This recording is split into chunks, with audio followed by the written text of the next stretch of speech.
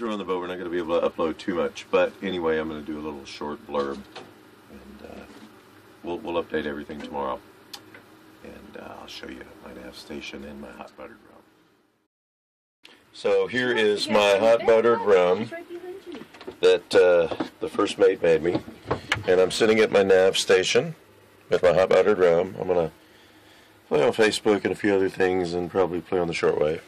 So the captain is a happy man.